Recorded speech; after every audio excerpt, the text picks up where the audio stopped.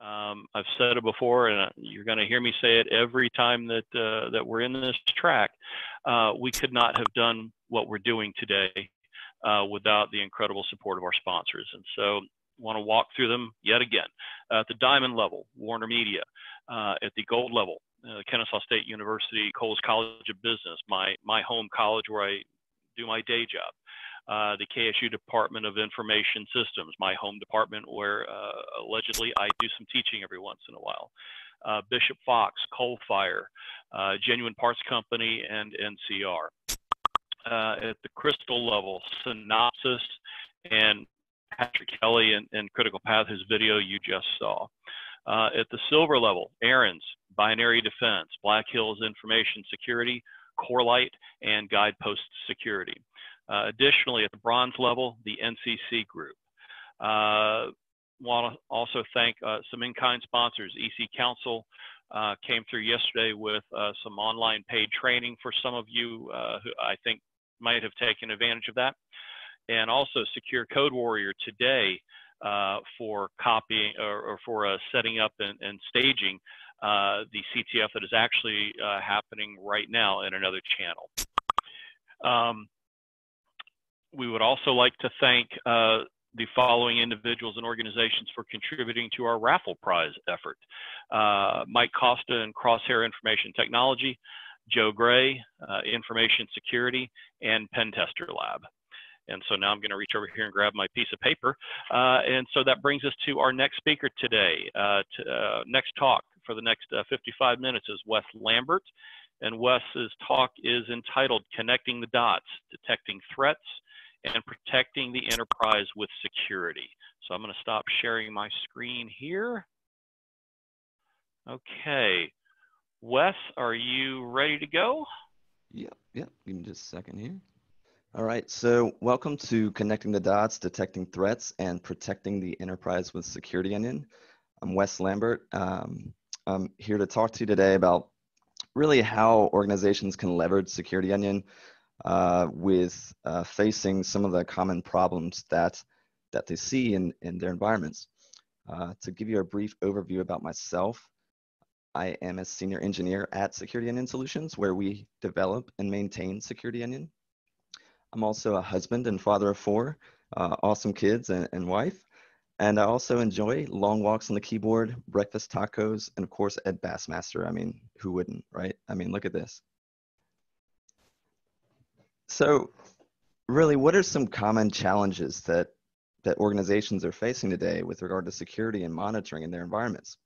I'm going to talk about a couple of these, um, and not really dive a whole lot into every single one, but uh, you know, just give an overview of each one and, and how we might be able to address that with Security Onion.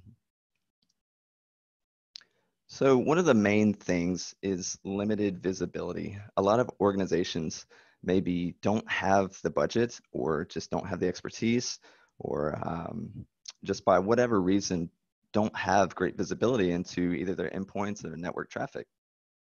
They might run stuff like Microsoft Defender, right? Um, and, and get those alerts as AV alerts. But a lot of times, whenever we get these alerts and it says something bad is happening on our workstation, how do we confirm that it's really bad, right? Or if it is bad, is it really the only bad thing on the workstation? Has that workstation that is potentially infected? Could it have communicated with other workstations or other servers? Um, could, you know, could that bad thing have moved from one place to another? And this really becomes a bad situation uh, overall for analysts, right? Security analysts or IT administrators, when they're not sure what is really going on in their networks, when they don't have a clear picture, when the lights are off and they can't see a thing, it's really difficult to make these decisions in a timely manner. Again, I mentioned the budget, um, and this isn't a dig on commercial tools at all. There are some great commercial tools, right? Like, uh, of course, you know, Splunk is, is free to a certain degree, and it's very uh, capable at the enterprise level. Uh, but unfortunately, a lot of InfoSec departments or smaller companies with maybe one-man shops or a couple man shops or even with larger teams than that just simply can't afford these tools, right? Organizations are forced to pick and choose between which capabilities they want to implement in their environment, and it can still lead to gaps in visibility. And you know, when we're able to address that as much as we can with open source tools, we'll try to do that.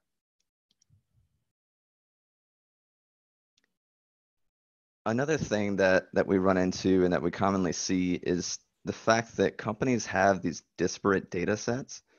Uh, they have all these systems um, that are their own system of record for this thing, and you have to jump from this system to this system to see a particular bit of data. Uh, when you're investigating, it's very disjointed. Um, it's really easy to miss critical data, and it's not really easy to easy to connect the dots between what's going on. Right? You have all these disparate systems, and another thing is if they're in a separate time zone, right, or if you're not using UTC, it makes it even worse. And even further, a lot of the setup for these various tools, whenever you have these disparate data sets, you have to have that, that specialized expertise, right? It can be time consuming and it just, it doesn't fit well to the overall, overall scheme and integration uh, organizationally uh, for that security monitoring. So what would an ideal scenario be, right? We think about the things that we'd really like to have uh, and, and maybe, you know, we can make those available. So one of the things might be network traffic, right? Collect all the network traffic as it occurs on the wires so we get that full conversation. Another thing, network metadata, right? The metadata about the traffic like bytes, right? Um, you know, file sizes or, uh, you know, summary data, right? Like, like how many times does this host connect to this host and just lots of other stuff. And then also host-based telemetry adds to that, right? From Linux, Mac, Windows endpoints, and really being able to correlate that between all this traffic would be awesome. Going further, being able to perform analysis on files extracted from network streams, that would be pretty cool, right? If we can enrich data as we feed it into a log management pipeline, helping us further enrich that and provide that context, giving us a better overall perception of our network, that would be great. Or what if we generated alerts? You know, we want to generate alerts for noteworthy events. We want to develop custom policies and detection rules that go further beyond maybe static NIDS rules or, or similar things. And what if we want to be able to perform the triage of those alerts, right? Have all that context right there tied together and perform that threat hunting when we go in and look for anomalies. And what if we want to be able to be extensible and be able to integrate with different commercial and open source tools? What if we want to do that, be able to do that easily, right? Without proprietary uh, intermediaries. Well, the truth is, pretty close to ideal is real. And the way that happens is with Security Onion. So with Security Onion, we can take the, this ideal scenario and for the most part, we can put it to play for free, right? We can peel back the layers of our network. Security Onion itself was founded in 2008 by Doug Burks. Again, it's completely free and open source. Uh, we use it for enterprise security monitoring, intrusion detection, log management, threat hunting, lots of different stuff.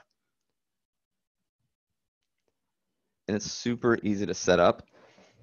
If you're doing it in your home lab or in your enterprise network, you simply install the Security Onion ISO. We also have Ubuntu uh, PPA, so you can install the packages on your flavor of Ubuntu and we take that data from the network, uh, from a network tap or SPAN port, and we feed it into Security Onion. We run through that setup, and you're monitoring in minutes, just pulling back, turning the lights on, uh, data from your network. But really, what are the tools and, but, and data behind Security Onion that allow us to be able to do that? One of them is going to be Zeek, also known as Bro. Uh, they recently changed their name. And Zeek is a policy neutral uh, network based intrusion detection system or NIDS. And some of the data can provide is that extracted content data when we're talking about files, images, or media extracted from network streams. Session data, those high level communication details that we were talking about before, getting a, an idea of the, the types of traffic going on in our network at a high level. And also a little deeper into transaction data. So for example, HTTP traffic FTP traffic. We can drill into the details of those rather than just the summary details.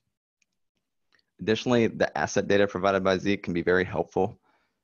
so we can grab things like device software versions, right? If somebody's running uh, some particular, they've got some particular version of Adobe or Java installed. We can see that, uh, like Cold Fusion, if their devs running uh, development servers in your environment and you don't want them to, right? Um, lots of different things that we can see there. Then we pair that with another network-based intrusion detection system, your choice of either Snort or Suricata.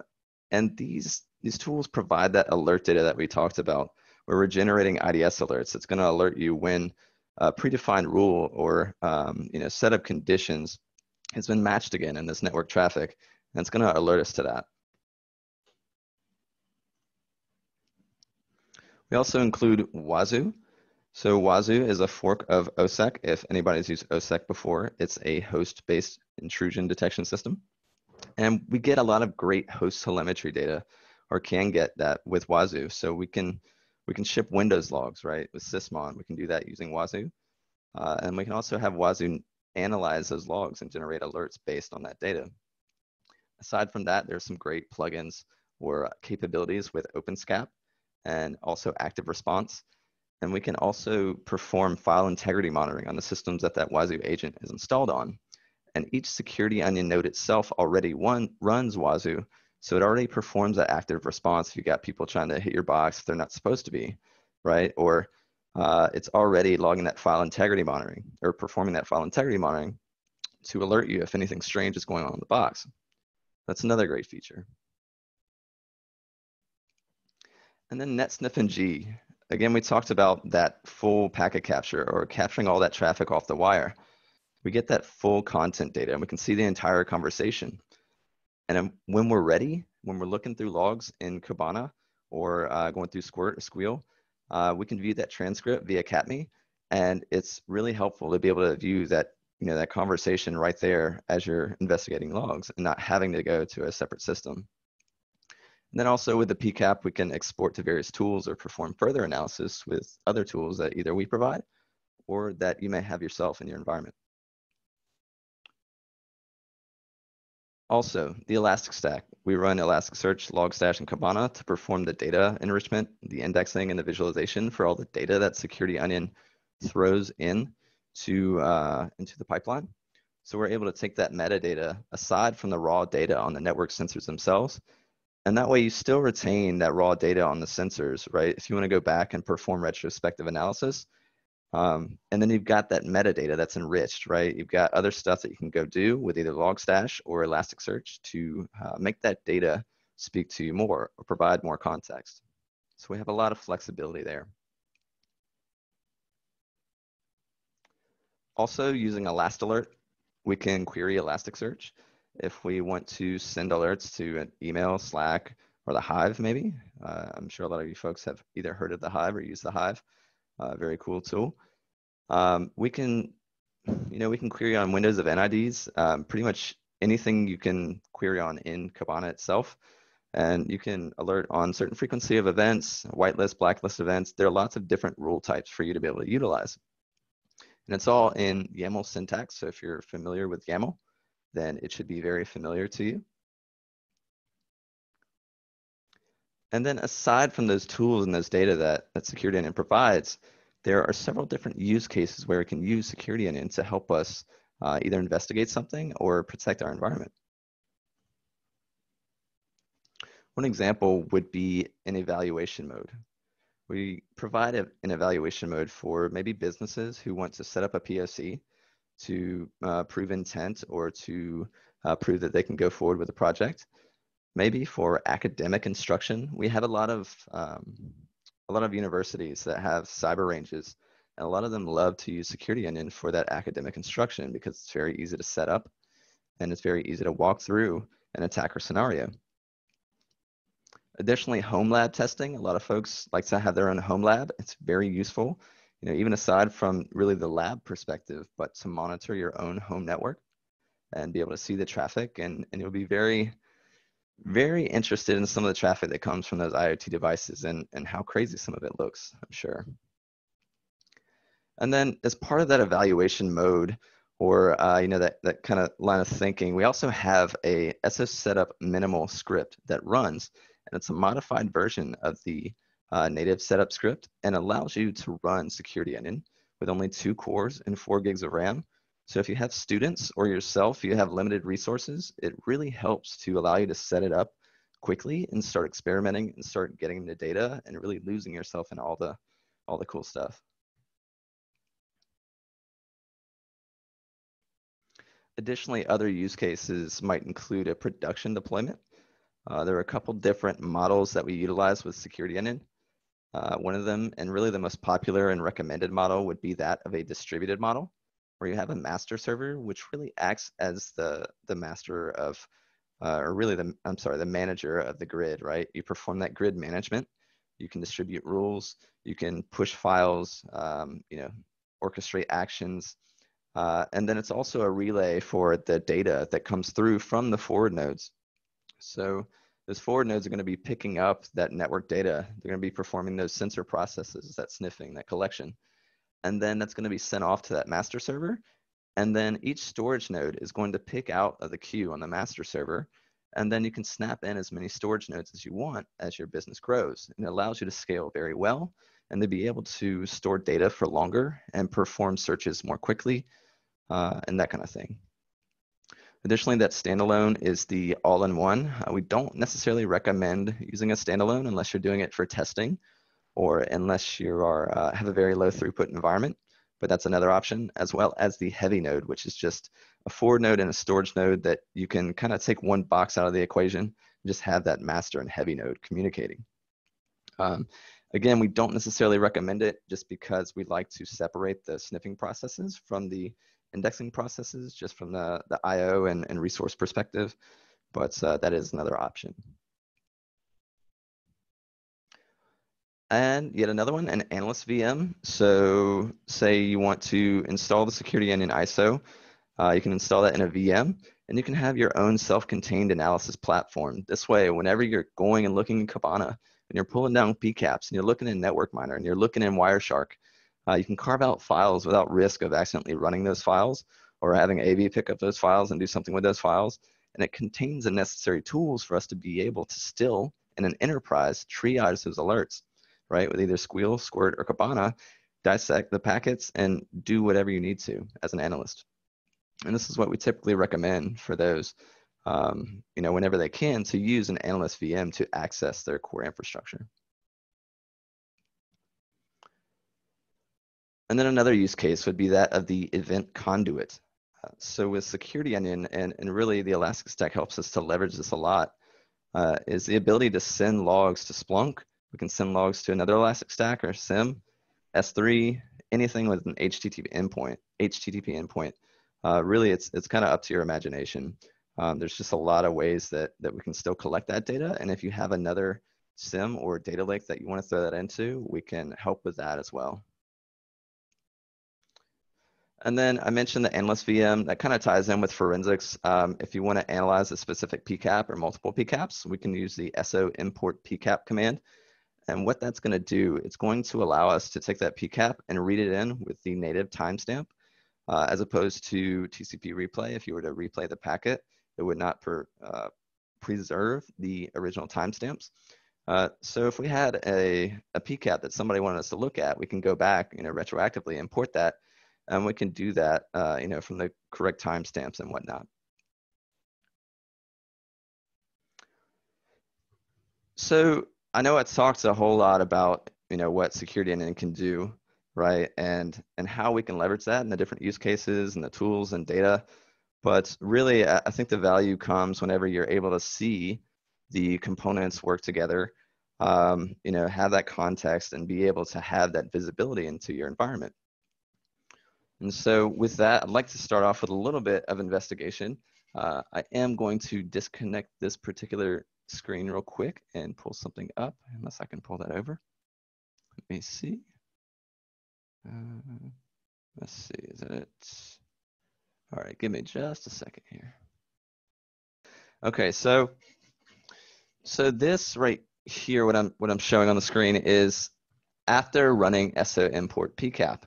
Uh, and what we have right here is a Security Onion Analyst VM or just a dedicated VM for analysis that I've stood up um, with the Security Onion ISO. And once I've stood that up, I ran SO import PCAP to prepare the box so that I can then import whatever PCAPs that I want to look through. And after that, I've really only imported one PCAP uh, because the situation here and, and, the story with this is, is uh, my boss gave me this PCAP and, and just wanted me to look at this um, because he had some folks that weren't really really sure about the situation and really just wanted to get my thoughts on it without without really putting too much into perspective for me. So what I've got right here is after running SO import PCAP, uh, Kibana, the overview dashboard in Security Onion, you'll notice it's not super populated right now. That's because I've only imported that one PCAP and it only happened at this one point in time. So we'll only see those logs relevant to this. But if you were monitoring your, your network, of course, you would see that steady flow of data and you'd see a lot more mixed in here. So this is more of an academic use case but uh, should still be applicable to give you an idea of how it performs. Right, so we've got this overview dashboard and we've got these different log types here. Uh, we'll break these out. Uh, you can see different uh, Zeek types. We still name them with the bro extension on the back end, so you'll still see that. But we can see that we've got some files logs, some connection logs, uh, some HTTP records, and some DNS records. Uh, and we can also see on the left-hand side that we've got a lot of links that we can click here. And these are really example dashboards. Um, we encourage a lot of folks whenever they use Security Onion and set it up uh, in their enterprise to exper experiment with these dashboards uh, because they aren't necessarily one size fits all, right? Um, they do have some useful visualizations on each dashboard, but really we want folks to get accustomed to building their own dashboards and really doing what works for them. But as you can see, we've got different details on these files and then on these HTTP records in here. It'll take just a second here. This VM is not the quickest. All right. And so we, we can see some different details, source IP address, destination IP address, all in these different dashboards. Uh, but really right now, I just want to take it back over to that overview dashboard real quick and, and zoom in on something that I noticed right off the bat. So let's click home real quick.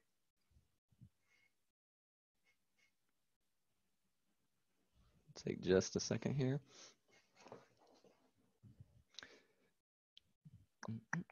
All right, so we can see that we have some snort alerts here, and really this is just an identifier for snort or Suricata uh, NIDS alerts.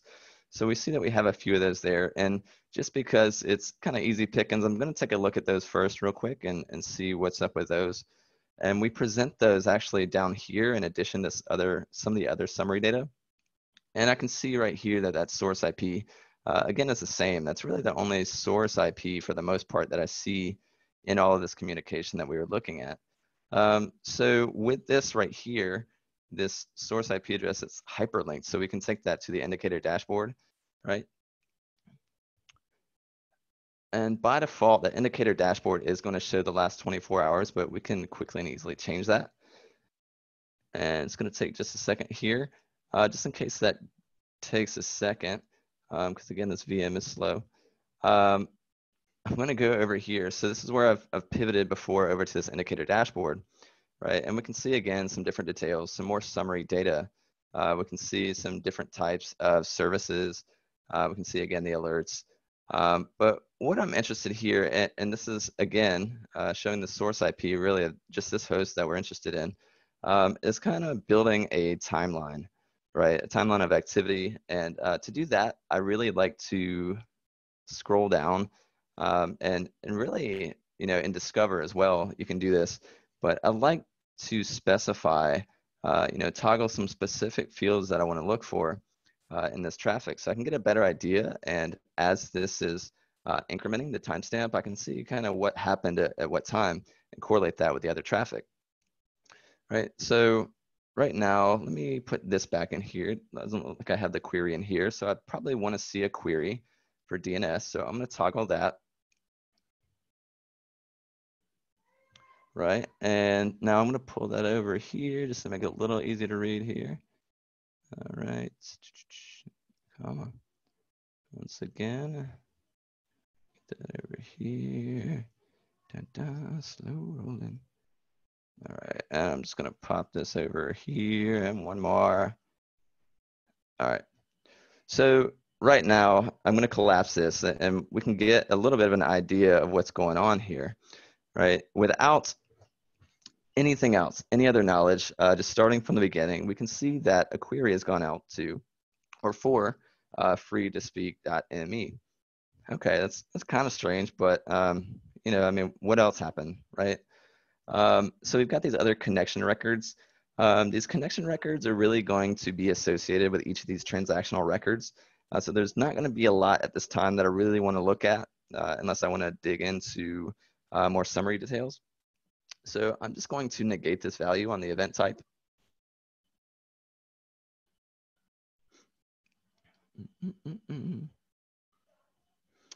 All right. Now, it's a little bit clearer, right? So we've got some DNS and some HTTP traffic, and we see that query for free to speak.me. All right, and then we see a get to free to speak.me, right? To this URI, this 0843 underscore 43.php.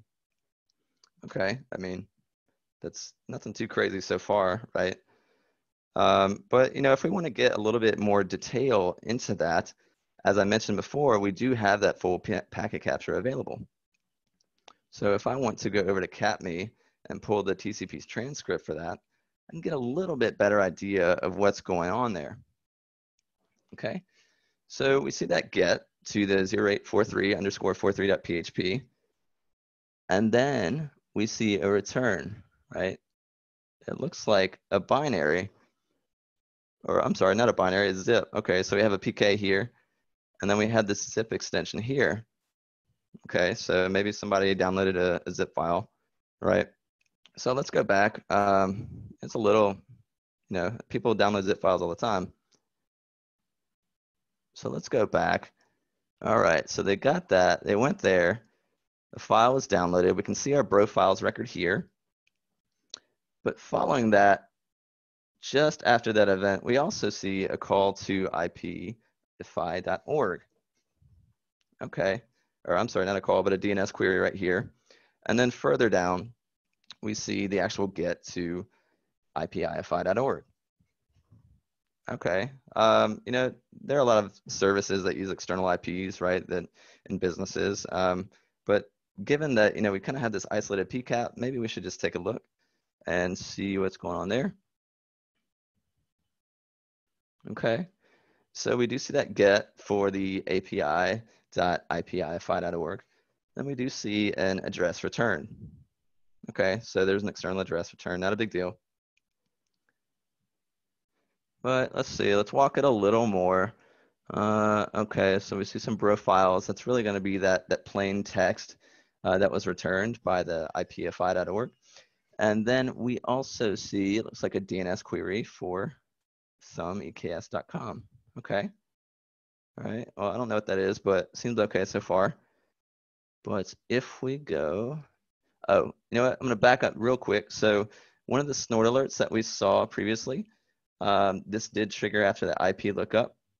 Uh, was that IP lookup uh, API uh, ipify.org. Uh, so just throwing that out there, that kind of correlates with what we saw earlier, right? And again, that thumbeks.com, we see a post to that.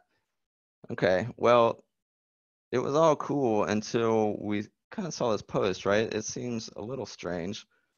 Um, seems like it could be reasonable, but you know, let's let's go ahead and check it out and see what that looks like. Okay, well, well, that's a little different, right? Hmm. Looks like an actual GUID is being posted to this server. And then base 64 encoded string is returned. Okay, well, can we look at this? I mean, does this make any sense to us? If we, maybe we want to go over to CyberChef. So uh, we host a local uh, instance of CyberChef with Security Onion. Maybe we can pop that in and see if it gives us anything good. Hmm, not really. I mean, I'm not really sure about that. So let's go back. Oh, wrong one. All right, so exit out of there. Uh-oh. okay, so it's taking a second here, so it's loading up, but um, we'll go back there and let me refresh this.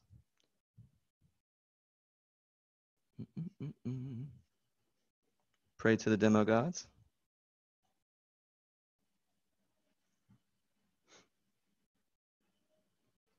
But again, it, you know, it's, it's kind of strange with, with that base64 encoded string and that posting of that GUID. It's, it's certainly not typical behavior.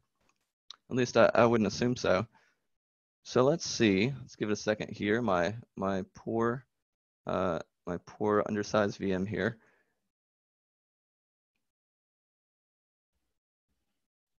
All right.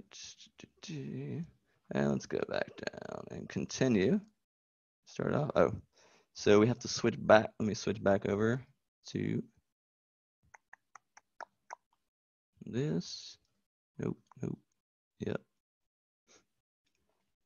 Make sure we specify the correct date for these records.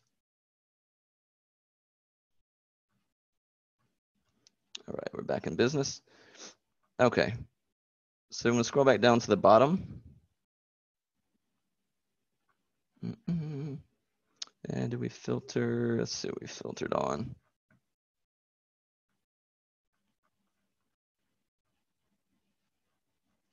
There we go. All right. Sorry for that. All right. Well, regardless, so it looks like our, our filters uh, have been since removed, but uh, that is, oh, here we go. Sorry, wrong tab. Um, so we'll go over here, back over to the thumb EKS post to the 4.4 PHP. Okay, now that's definitely really strange. Um, we definitely want to follow up on this activity and, and see what else might have happened. So we see a DNS query for shopartainfinity.com. And we see this GET request right here, right, for shopartaaffinity.com and this sodium compat one. So, all right, let's get this straight. So it posted this GUID to this URI right here. And now it's calling out this URI right here. Let's see what happened.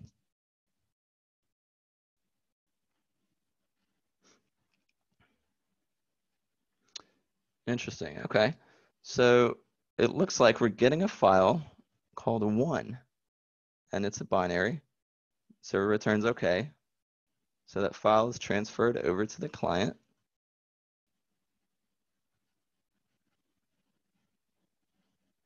And then what do we see?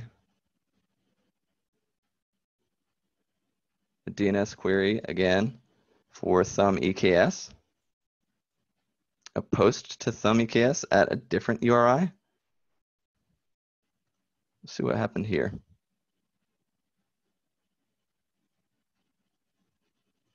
Interesting. So now we're posting binary data to another endpoint.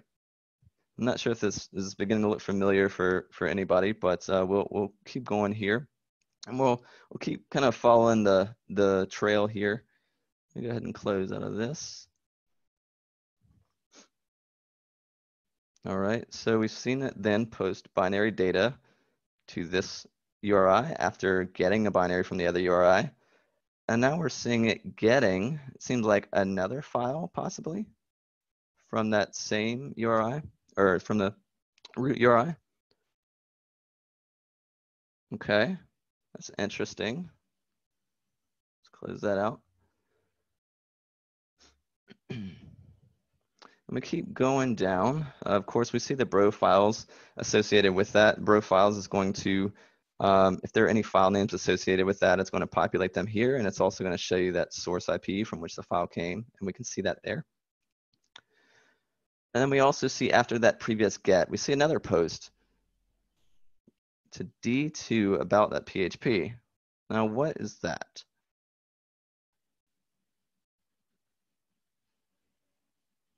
Another binary post. Okay, interesting. So as you can see, uh, with the data collected from uh, not only Zeek and Suricata, but also netsniff-ng, we're able to tie this together and start to connect the dots about what is going on here. We're already uh, building our, our trail of evidence here and, and kind of our, our timeline to see what's going on. Okay, so we see that post there. And then immediately after there, we see three more posts. to the same server and the same URI. But let's take a look at each one.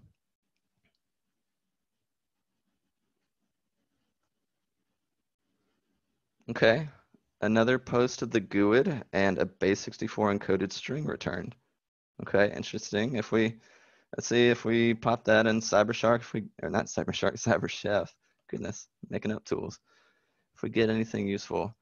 Uh, and not really, uh, not a whole lot there for us to go off of, uh, unless we already have some familiarity with, with something that, that might be related.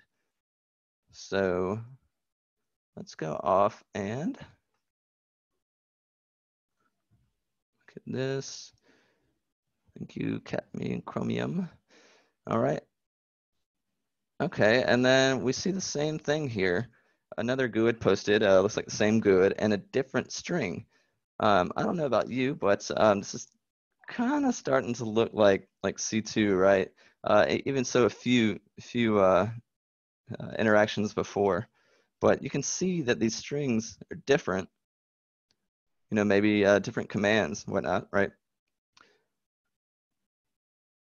And then let's look at this last one here. And if we compare that, it is also different. so that's interesting. So we've got all these series of events, right? This, you, first we got this file and then we posted uh, this data to this endpoint. And then you've got all these other series of events occurring right? And we, we're kind of building our, our trail here. And while we've got some interesting items here, we don't really have anything that's, that's super conclusive. Um, so maybe we want to dig a little bit more uh, into the PCAP that we had and, and look at the files contained within it. We can do that on our Security Onion Analyst VM. And let me just pull up you can do that using uh, various tools. You can use Wireshark, or if you want to use Network Miner, uh, that is one option. So right now I'm going to use Network Miner to load in uh, my PCAP, and then it's going to present me with some files that it extracts out of there. Now, if you're already performing Zeek file extraction, uh, or you're, you know, you're doing some other uh, method of file extraction, then uh, of course you would already have this extracted. But for this academic use case, we're going to use Network Miner. So we can see also uh, some different uh, communication details for these hosts and then some files that were extracted out. We've got uh, that zip file that we saw before. Uh, we've got a couple of different PHP and HTML files. We've got a couple binaries, that one binary and that two binary that we talked about. And then from here, if we want, we can go into here, into the folder, and we can actually see if we can extract that here right? And we can make, uh, you know, we can certainly hash these and, and check these with VirusTotal along the way, uh, certain files to, to see if there's any inkling of information that can lead us along that path. But it looks like extracting that zip file, there's a VBS file here, uh, which is kind of interesting. Um, wouldn't normally expect that with normal traffic, and, and certainly given these series of events, um, it definitely falls in line with the weirdness factor. So we can open that with Vim right? And right now we see a bunch of different stuff that's really hard to read, right? The split function uh, variable that's um, going to be potentially read in later. Uh, but if we scroll down and see if we can get some logic. Okay, okay, we got some logic here. So it looks like some, you know, just some VB here, VB scripting. And we got a couple of functions here, uh, including, let's see, doing a loop, uh, creating an object here. Okay, that's interesting. Opening a stream, we're writing text and we're saving it to a file. Okay, interesting. And of course, you can see all the Windows control characters here. Uh, you're going to see that in, in this platform or in Linux in general, but um, we also see, oops, back up. Uh, let me go back, let's see. Oop back up, went too far. We also see a process where it actually creates the process though with regsvr32. So one thing we could do is take this out. If we wanted to try to extract the file, we can actually take that out maybe and then try running the VB script to create the file, the resultant file that then gets run or processed. Okay, um, don't really have the, the capability natively to do that here, but if I were to transfer that to another host, you know, that could certainly be possible. So I'm not gonna demonstrate that here. Um, I'm kind of gonna leave it at that as far as, as the file analysis portion. Again, you could take different, uh, you know, take different um, hash values and whatnot from these separate, these different files and then use those for uh, later indicators, maybe if it's something of interest. Uh, but that's going to be it as far as the security onion uh, demonstration here. But I will pivot over here to the slides and clarify on this a little bit more. So let me switch this screen real quick. Let's see. All right, so let me get back over here and I'm just going to go through these. This is really for the folks that are not going to be able to watch the video. I figured I'd include some stuff here for them to be able to go over and for folks to go over after uh, the presentation. So it just walks through what we just spoke.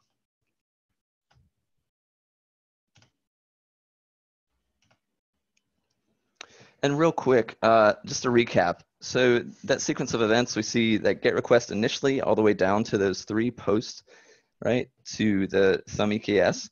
Uh, and we didn't know before about the files delivered or dropped, but now we do know there is a VBS file. And using Network Miner, we were able to extract that out of that zip file. We're able to go down and look through the, the function there. And this is really what I was mentioning we want to end up with, right? And so after modifying the VBS and running it on a test Windows host, we can run cscript and we can actually have it perform that action, right? And so what happens is that this file, whenever I ran cscript, the name of the VBS file, it exported itself into users bassmaster, great name by the way, app data local temp, right? And it was a file called adobe.txt. So I got that file hash, the SHA-256 sum. And VirusTotal says it's Hancitor. Okay, so now I've got some more work to do, you know, going and investigating on the host and, and performing some cleanup and maybe some remediation, but uh, definitely a lot of, you know, a lot of direction uh, where to go now and a lot more visibility than maybe I wouldn't have had, um, you know, not using something like Security Onion. And really, it all started here. Uh, it was from a malspam. Uh, so an email purporting to be related to, uh, of course, our, our COVID crisis uh, right now, which is, um, of course, not very favorable, but it is working for some folks. And uh, so that's, that's kind of how this all started. And then we've got some other indicators that if you're reviewing the slides, you can go through.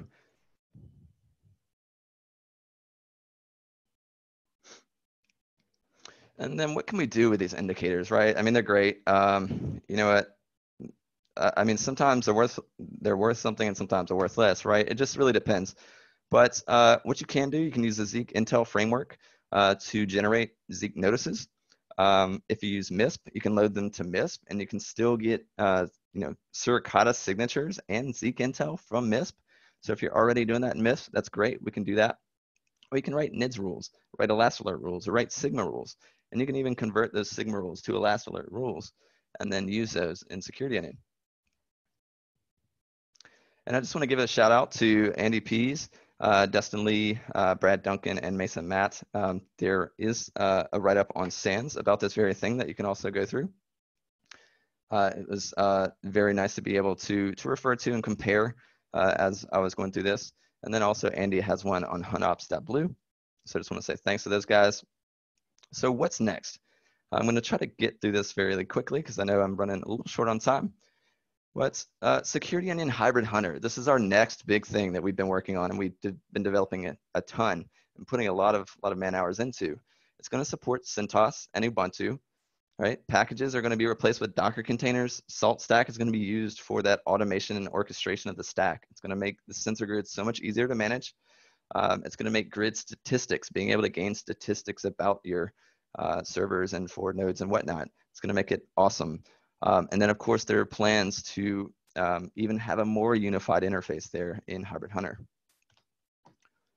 So Hybrid Hunter includes the Hive and Cortex. If you've heard of them before, um, then you'll know that they're great for alert triage, incident management. If you want to enrich observables using their analyzers or perform response actions based on certain data that you bring in or cases, you can do that with responders. And then Soctopus. So Soctopus is a Flask API that we present in uh, Hybrid Hunter, and you can push an event from Kibana to the Hive if you want to investigate that further.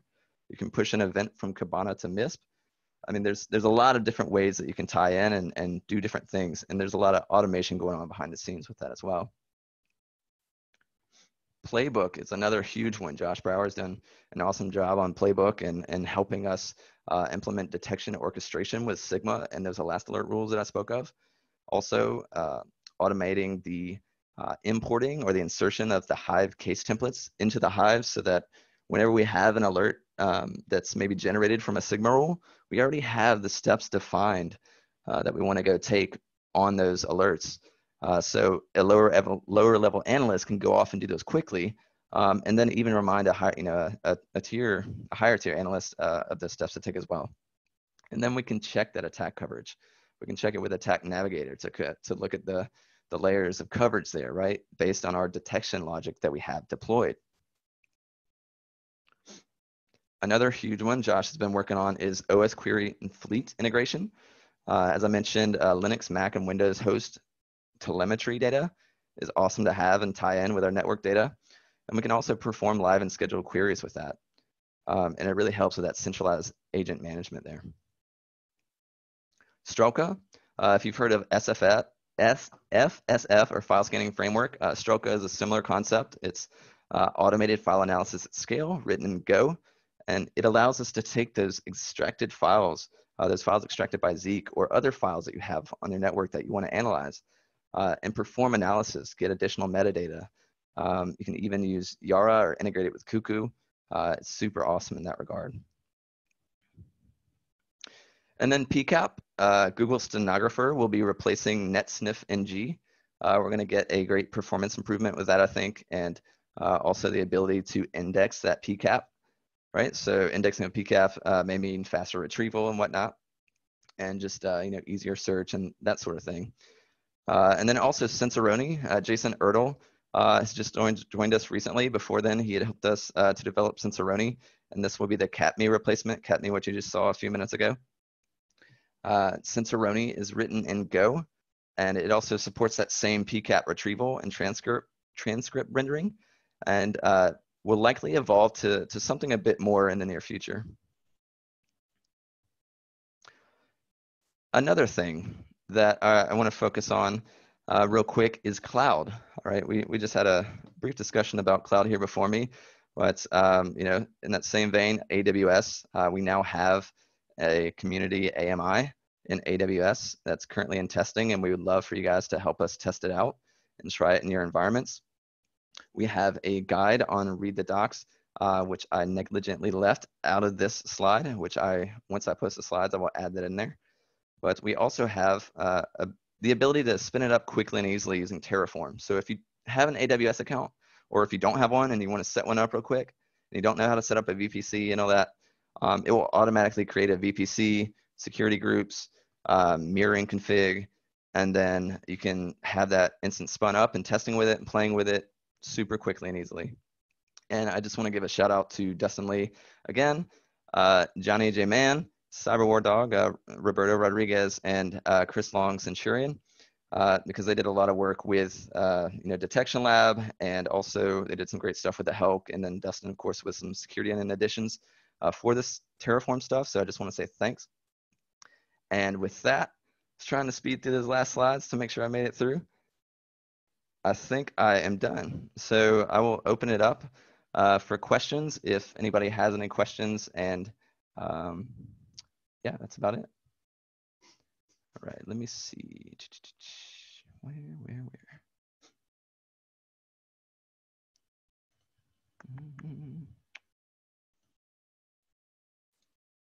Give me just a minute here to unmute the track detect channel. Um, all right, let me scroll up just a bit. crypto licks while Wes is scrolling through and reading things. I saw that you raised your hand in uh, in the Zoom webinar. Uh, all of our interactions are being driven through the Slack channel. So if you just want to bounce over there and post uh, and, and, post your question there, Wes will will take care of it for you there. Okay. Okay, so I see ethical infosec. Um, is there a way to integrate a CTI feed? Um, it depends specifically on, on, I guess, what you're referring to, but um, pretty much anywhere where, where we can grab that data from, um, you know, from an API or, or whatnot. Uh, if you have that data in a file, um, if we need to massage that, we can do that. Um, it, I think it just really depends on, on specific ones that we already support out of the box. Um, I see one for, I see Matt Carruthers. Are there plans to integrate Security Onion with Moloch? It seemed very complimentary. Um, we've had a few questions about that. We don't necessarily have any intentions of doing that, um, at least not at this time. see if there's anyone, anyone else. Sorry, I'm just scrolling through here.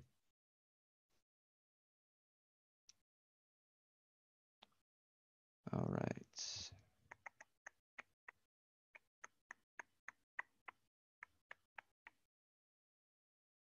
Yeah, I don't see any other questions. So uh, appreciate the uh, the feedback, guys. And um, you know, I'll be here for the next minute or so if you still need one last question. But other than that, that's all I have.